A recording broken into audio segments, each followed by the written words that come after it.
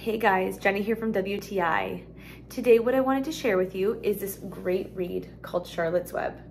No doubt you know what this book is. You've probably read the book yourself or seen the movie, um, but this I just wanted to hop on and say how incredible this book is. Uh, my daughter's in grade three and we wanted her to start reading a book uh, a month. So she picked up this one. Uh, overall, she liked it because it wasn't overly thick. Uh, that was a selling feature for her.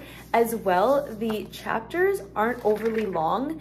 Um, so when we say go up to your room and read chapter, she's not up there for, you know, 30 minutes trying to get through one chapter. It has an adorable front cover.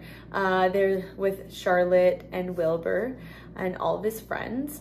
Uh, and this is more of a read. I would say it's more for grade two and up uh, because there aren't a ton of pictures. There are a few pictures, which my daughter loves.